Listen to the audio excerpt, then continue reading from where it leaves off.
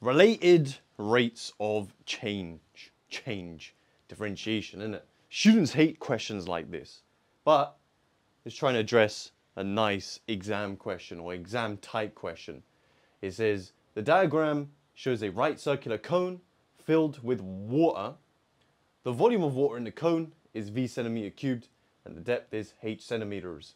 Show that V has to be 1 ninth pi H cubed. Okay, now what does it mean by right circular cone?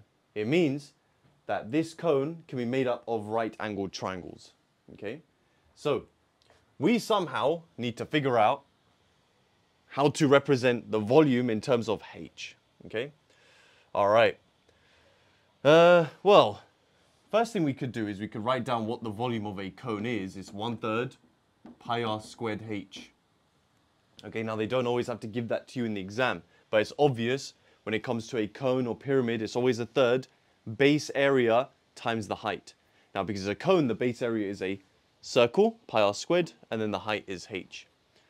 So if we look at this, we can see that it clearly doesn't have r. So we somehow have to figure out what the radius is. Now the radius is this. Remember I told you guys that this is a right angled triangle. Alright? So it splits up into two congruent right angled triangles mean they're the exact same. So this angle here must be 30. So we redraw that over here. So we have the radius, we have the height of the triangle, and we have 30 degrees. Now we just need to form a relationship between them. H is the adjacent, and this is the ops. So it's going to be tan.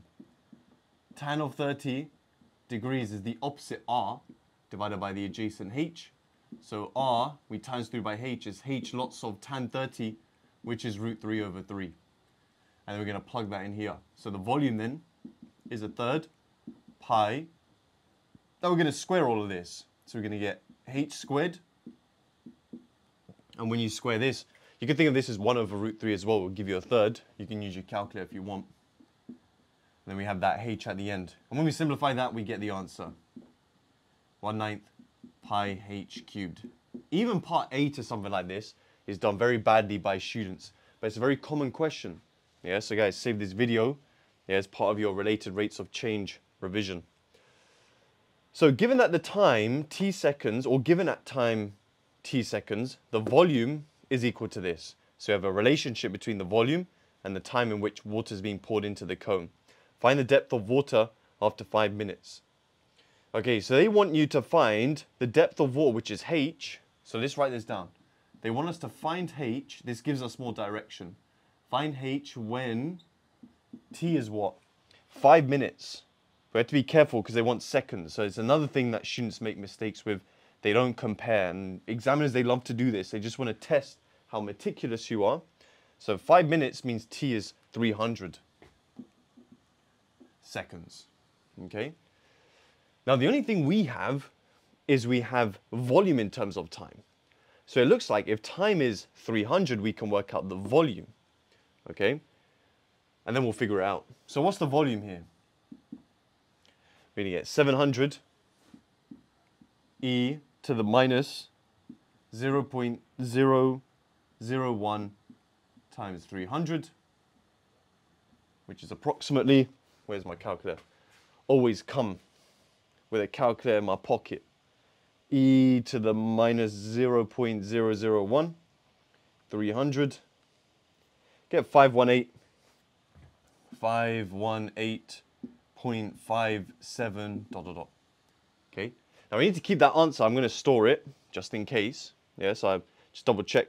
700e to the minus 0 0.001 times 300. 001 300. Because yeah, with so many zeros over there, it's very easy to put too many zeros or too little zeros. When I did my blindfolded GCSE paper, um, I wrote too many zeros but I was blindfolded when it came to that 0.002. I'll never forget. Anyway, I'm talking to myself. So with this, how can we work out h? Well, we have a relationship between the volume and h, so we're just going to sub that in. So we have that 518.57 dot dot dot is 1 ninth pi h cubed. So the first thing I'm going to do is I'm going to times through by 9. Then I'm going to divide through by pi. and then I'm going to cube root the answer. So I'm doing, um, what am I doing? I stored it as A, didn't I? Just in case I did. So I'm doing cube root of 9 times A all over pi. 11.4. So I get H is approximately 11.4, uh, what is it, centimeters. Okay, what about part C? Well, I just need to double check my answer there. 9a over pi. I always get paranoid. Yeah, no problem. Find the rate at which the depth is decreasing after 5 minutes. Find rate. Rate means gradient. Gradient means d by d. So they want us to find d by d when, what was it? After 5 minutes when t is 300 again. Well, we actually have the 11.4. Maybe that could be useful. Um, what do they want? Find the rate at which the depth, find the rate of change of depth after a certain amount of time. So find the rate, rate of change of h with respect to t. Okay, now this is a classic, what I call want got need, my Wagwan formula. Okay, so what do they want is equal to what we've got times what do we need. Okay, now we want dH by dt. What have we got though? Well, we have a relationship between the volume and time, so we can easily get dV by dt. Well, what do we need to multiply dV by dt? Uh, what? What do we need to multiply dV by dt by to get dH dt? Well, we need a dH on the top, and we need to divide by dV. And we can get all of these things really easily okay? So, um, dv by dt over here. dv by dt is 700 is just the multiplier, right? Multiply by. Now we're just differentiating this exponential. We differentiate the power first. So differentiating that power, the t just goes. So we're just going to get minus 0 0.001 minus 0 0.001. 0 0.001. E differentiates to E, and then the power always stays the same. Okay? Now the next thing we have to do is we're going to have to differentiate, well, we're going to have to figure out dH by dV. Well, that's going to come from this. It's going to come from differentiating that, right? So I'm just going to rub out uh, the top here because we don't need that anymore. We might need more space in a bit, but for now, that's good enough. So I can do dV by dH. 1 ninth pi, just a multiplier. So 1 ninth pi multiplied by, we're just differentiating h cubed. Bring down the 3 knock 1 off the power, 3h squared.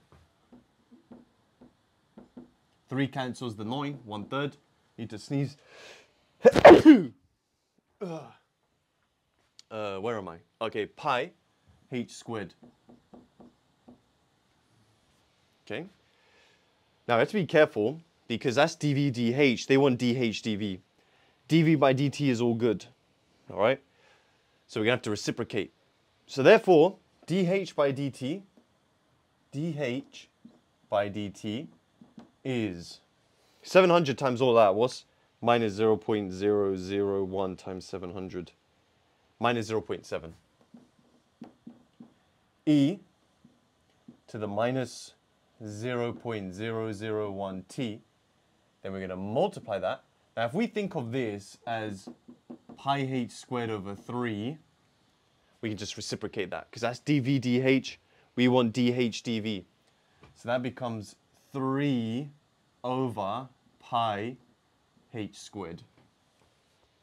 And then all we need to do is substitute our values. So we know t is 300 and we know h because we worked out previously h after 5 minutes is 11.4.